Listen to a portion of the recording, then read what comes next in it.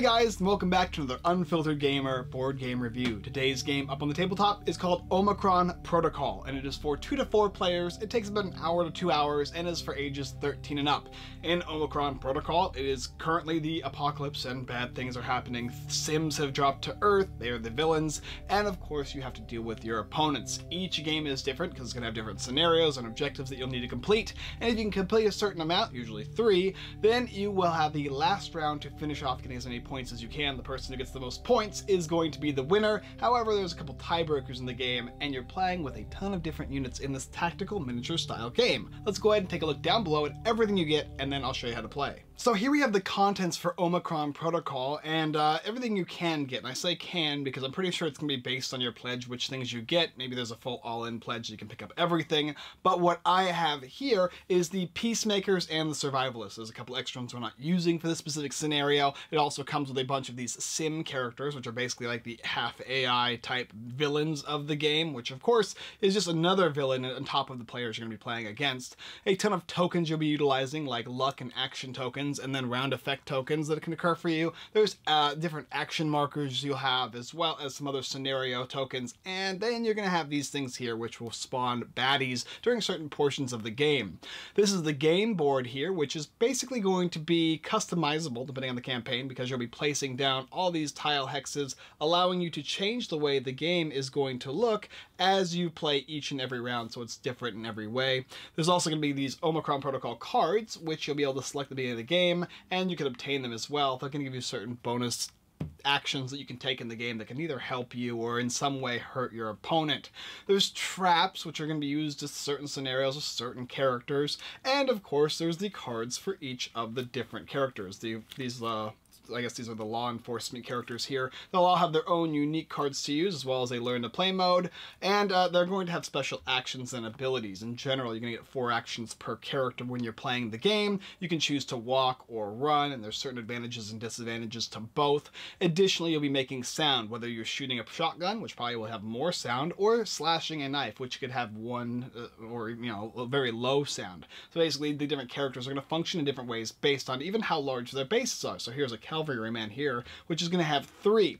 Sometimes you have to deal with terrain effects, and other times you're going to be having to deal with certain objectives like gathering data and returning it in certain places. There's also going to be these noise spawning aspects to the game. For each of the different missions will come one of these cards which shows you how to set the game board up and the different aspects of play. You'll be getting player reference cards and game reference cards to show you turn sequence and the actions that you have available to you, whether they are unique to your character or just the basic actions in the game. All in all, this is pretty much what you get in the game Omicron Protocol. Let's go ahead and go down below. I'll show you a basic setup for one of the scenarios and give you an idea of how they play and what you can do on your turn, and then we'll come out and I'll give you our review. So here's Omicron Protocol, and I set it up for two players, and I chose the hands-on research scenario. Now, there's different scenarios in the game you can go ahead and choose from. I have four here. It tells you how to set the game board up, and it also will tell you how many additional hexes you're going to add to the uh, mat uh, to create your own unique individual custom game mode.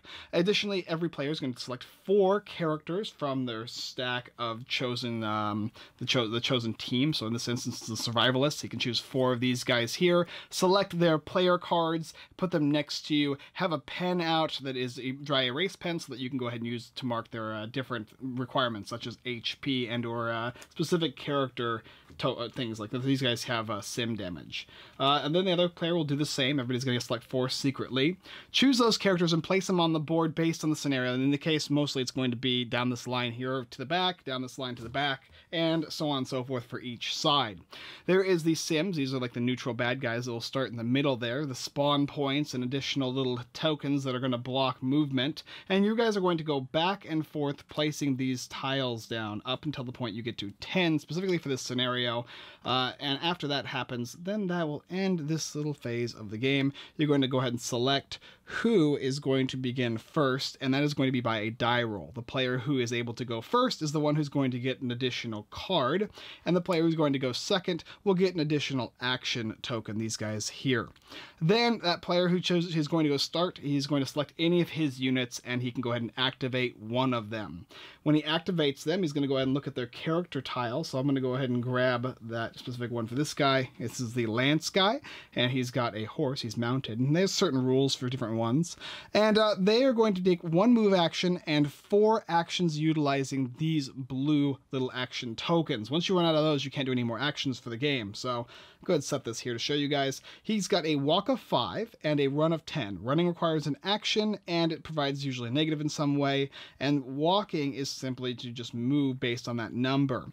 Equestrians, people on horses, can avoid obstacles, but they have to land off of them, and uh, they are able to uh, attack for 4, have a dexterity, which is basically a dodge for 2, and luck for 5 plus, which means that every time you get a 5 plus on your die roll that you're not utilizing for attacking, you can gain these tokens here, and these will help you in some way throughout the game, usually to turn a pip from a number to the next number. So 3 turns into a 4, which can be the difference between a failure and a success. They'll have active abilities that will require ability tokens, and then they're going to have passive abilities, things like the charging uh, for this specific character. Basically, he's going to get a bonus to attack instead of a negative, and he's able to jump over obstacles, and whenever he's damaged by these sim guys, he'll take one less. He's also got a lot of health, and it shows the abilities of the character on the far left-hand side. So when he goes ahead and he chooses to charge. So you go like one, two, three, four, five, six, seven, eight, 9, and 10. After that, because he chose his specific charge ability, he's actually going to be able to do an attack. Now, normally you attack with whatever your attack is. So in this case, this guy has an attack of 4, so he'll need to roll a 4 die, except when additionally when he charges, he'll get a plus 1. He'll roll that versus the Sim's dexterity, which is 3, so any 3 pluses will count. He's then going to go ahead and choose his successes and put them on the board here based on whatever he's using. So he's using this Stun Lance. For every hit, it will do a certain amount of damage. If you don't have enough hits, you'll have to choose the one previous to it. In this case, he needs 3 to uh, annihilate this Sim, but he only has two hits, which means that he can only do one damage. So the rest of the die he can turn into luck and generate luck tokens. But unfortunately, damage is either all or none. The only other difference between Sims dying is if they get stunned once and then they get stunned again. That will actually eliminate a Sim as well. But for the most part, you need to have those three damage on the Sim. After he's done that, he can choose to attack again if he wants by spending action points or doing any of his abilities. And there's, of course, also a card that illustrates what you can choose to do on your turn. It shows walk, run, charge, uh, drawing from this Omicron deck here for actions, uh, first aid, etc., etc., and then of course your special character actions. After they do that, this player can get a chance to go ahead and do his walk or his run. And also, don't forget to whenever your guys move or charge or or anything, there's going to be a chance they're going to spawn noise. So, for instance, this guy here, he's actually going to spawn up to like I, I don't know what it is, six noise. You can actually look; it'll tell you based on the attack how much noise. So he chose to do he did, he he ran, which is going to be one. He did a noise for his charge, which is going to be another one.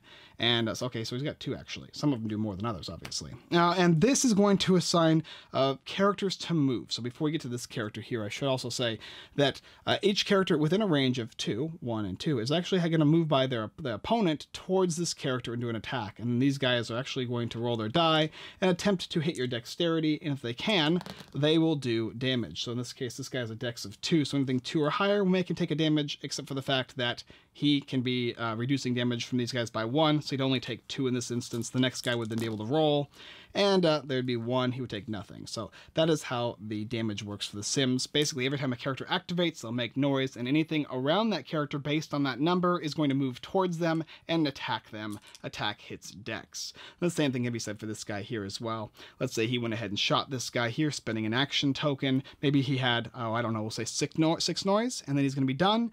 One, two, three, four, five, six. Both of these guys will actually move towards him. And uh, these guys can ignore the terrain. They're not really worried about that. But your guys do. When you walk on terrain, it's going to cost you two points of movement instead of one.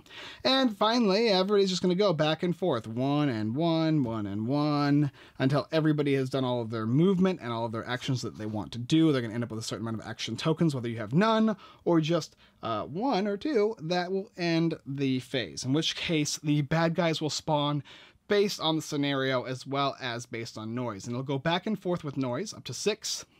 So in this case, if he had six and he had two, and these guys only had one, these guys only had one, it would spawn with these two first, spawning characters on these spaces here based on the closest range to the character, and then moving them towards the character. So in this instance, let's say Uh, this character is definitely going to spawn one. He would spawn one, this would be the closest, and they're going to walk those two spaces of the character or until they end up next to them. And of course, the rest would spawn as well for that specific scenario, moving towards the uh, characters that have the noise and whatnot. And of course, after that two scenario, after that spawning, another spawn will happen based on the scenario, and they'll of course do their attacks. And that's basically how the game works. It'll go back to the, this player here, and they're going to do their things as well. Now, let's talk about how to win this game. So first of all, in order to win the game, it's going to be based on the, the scenario. And the scenario has, has objectives. For in this one here, every time you nuke one of these sims, you're going to get a specific data or something like that, and you'll go to the space here and spend an action, and that will give you a point. You can do that up to a certain amount of times. Whenever you KO an opponent's character, that's going to give you a point, and whenever you kill five sims, it'll give you a point as well. When somebody reaches three victory points, that is going to signal the end of the game, in which case there will be a final round of play in which you can try and gain as many victory points as possible. Whoever has the most is the winner, and it is going to come down to a tie, then that will be based on whoever has the most KOs or whoever has the most sim deaths uh, going down this tree. And that's basically the idea of the game. Additionally, these cards here, uh, basically at the beginning of the game, when you put these guys down, you're going to put them down based on your character. So you can go ahead and say, I'm going to give this guy two cards, and I'll give this guy three cards or one card after these are all placed. And the same will happen whenever you draw cards from that deck there as well. The cards are going to say stuff like trigger, play this during a model's activation. The model can now shift three to a sim within two hexes, or maybe the model may immediately reduce its noise generated by four, things that will generally help your characters or hinder your opponents. There's a lot of characters that I didn't use or talk about, so we'll come up above and I'll explain the different characters and maybe some of the additional scenarios and maybe some uh, ways to play the game to uh, annihilate your opponents. All right, let's come up and talk about it. All right, so a couple caveats now. The first one is when you're placing rubble, generally you're going to have specific rules like you can only place it three away. There's certain things like like that that I didn't get into too much detail because there's a lot that goes on in the game. Uh, there's also some interesting things with the different factions you choose. The Peacemakers will have an extraordinary event that they can do on any activation once per game. These guys basically make models within a range attack instantly for free without actions, and Survivalists will have something that involves them moving around the board. Additionally, they all have passive abilities too, like Peacemakers, each of their friendly units get a plus one to attack when they're doing ranged attacks, and Survivalists, for Survivalists, each friendly character ignores up to three damage from Sims attack in the game. So basically they have that specific card, which will have on the bottom right hand corner a little danger sense for the Sims, and basically it's free health for them, but only against Sim characters. Uh, and uh, that's pretty much the basics of it all. There is the different scenarios, and they'll have on the back of the scenario what the noise table is for spawning sims, the objectives, uh, the scoring, the terrain layout, special rules, all that kind of stuff and it's all located in the book so you can learn how to play each scenario individually. Once you know how to play one scenario, everything else in this game is going to come together very, very full circle very easily. And the characters are all very different. Some of them are going to start off with active camo, be able to move faster than others, be on a horse, be actual animals with animal abilities, as well as have things that are basically just maybe an additional attack or an additional ranged weapon that has more noise. Noise in this game matters. Like I said before, at the end of everybody's activation, there's going to be spawning and scenario spawning spawning and characters moving and attacking, and then the next round is going to pop up and the person with the least amount of ac action tokens or the least amount of points is going to go first so it can switch in that way. And if there's a tie, I believe it just switches to the next player who wasn't first the previous round. But there's a lot going on as far as maintenance in this game and that may be a positive or negative for you guys who are war gamers or uh, heavy tabletop gamers it's gonna be very easily easy to get into this game as far as placing the dice down based on what the noise level is for each of the different characters and whatnot, there will be a substantial amount of movement on the dice, removing them and placing them on the table, and remembering what creates noise and what doesn't, and how much noise each thing creates, because that's all very important as to how the Sims are going to activate and come after you and do damage to you. They're basically like this outside force that is out to get you, while you and your opposing factions are dealing with this problem in this current apocalypse landscape. And so all of these scenarios have a specific feel to that kind of a thing. And the characters are all in their own individual right, something unique, so that every character you play is always going to feel different in the game. There's cards that will talk about traps and how they function and how you can actually shoot off traps uh, from a distance and not have to worry about them, and how they can be utilized to mess with your opponent in certain ways or to make them spend certain things. Luck is in this game. And the way luck works is pretty interesting. Whenever you fail an attack or have extra left over from an attack, you can turn that into luck based on your luck value. And that is going to allow you to move your uh, pips up on the die when you're attacking, which is very nice, especially when you've been failing over and over again. You never feel like you're going to constantly fail because that luck will always have the ability to make you regain your momentum each character has their own look and you'll be using that. There's also probably going to be more tokens and as well as more characters in this game. I'm just giving you a basic rough feel of what is included in this game and how it functions. Obviously there's a lot of strategy in this game. It is a tactical miniature style game. If you played uh, what is it, Final Fantasy Tactics, that's the most common one, right? Or Fire Emblem. It's gonna feel like that, but you're also fighting against an opponent, and there's a lot of ever-changing scenarios and things you need to deal with and how you deal with them is going to be important. Utilizing those cards is a nice touch to the Omicron Omicron cards and when they're placed down you're going to be like oh wow I didn't know that was going to be happening as well as of course these really cool extraordinary feats when those things happen it can be a huge game changer for either player and they need to be utilized. You have to utilize these things. So remember all your abilities and your, your passives and whatnot. That's something that's going to definitely help you in this game. Quality's nice. All the miniatures come uh, almost fully pre-done. I mean, to, there's certain ones will have their, their, hand and you have to like stick it on and glue it on, but it's nothing like Games Workshop. But it still gives you a little feel of being able to easily paint the miniatures and put them together. If that's how it comes in the campaign, I'd be totally fine with that, especially for those of you who enjoy miniature painting and construction. It's just enough to not be overwhelming, but still gives you a little bit of that feel of putting together miniatures. You also to have the nice artwork for all the characters. The design feels good and it feels easy to read the cards. You know what your characters do. It's just a matter of remembering them. So which comes down to my um, some critiques, I would say. And the first thing is there's a lot of maintenance, like I explained before. Remembering how much all the noise makes and whatnot can get a little daunting. How the characters move, where the sims are, and all that. Pretty, I would say, complex to a certain extent. Maybe not for like the deep gamers, but any of you like middle of the road guys, it might be a little more, but I guess it's something, a nice little step up for those of you guys who like tactics. And because of all the maintenance though, it comes with a lot of choice, a lot of abilities, and a lot of ways you can utilize your characters in the game so that you always feel like they have something unique to do, which is really cool about this type of a game. I never feel like I'm out of choice when I play these three, four times now, even though I play the same team each time, the way I constructed them and utilized them changed every game because of the choices I made and not because of the choices the game made for me, which is really cool.